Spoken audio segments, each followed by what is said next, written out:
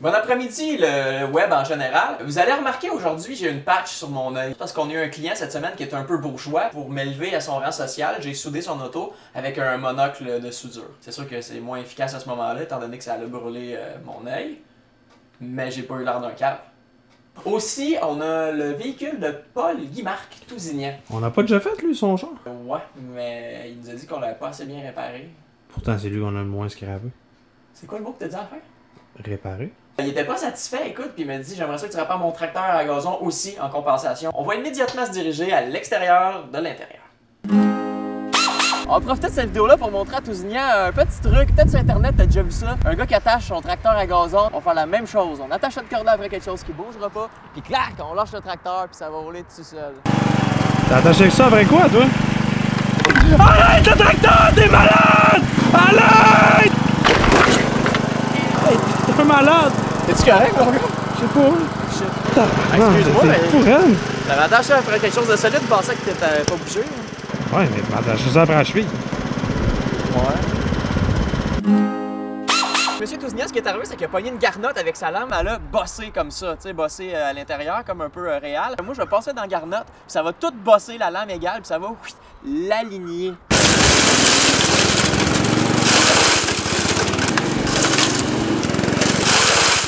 T'es-tu correct?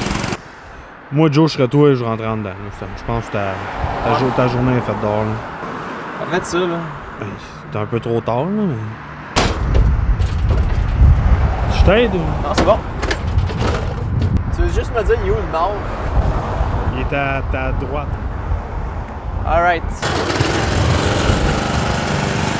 Attention, gauche!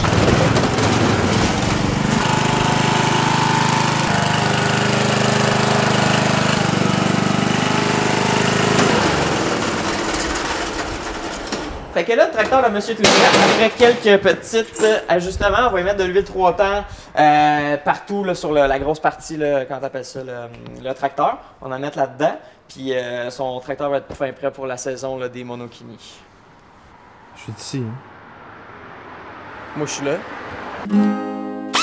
En mettant de l'huile dans l'intérieur du moteur, juste ici, ce que ça fait, c'est que quand tu conduis, mettons, sur l'autoroute, le moteur ne chauffera pas. Là.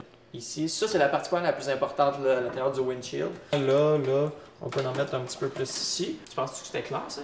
Des fois, j'utilise des termes que je sais que c'est pas monsieur, madame, tout le monde, mettons, qui connaît ça. là. Non, d'après moi, même n'importe quel imbécile serait capable de faire ça. Là. Ce qui est plus important, c'est vraiment d'attendre que le moteur soit refroidi euh, avant de mettre de l'huile, sinon ça peut être dangereux, mais là, je pense qu'on l'a pas utilisé assez pour ça. Là. Et Joe, il y a encore le feu. Là.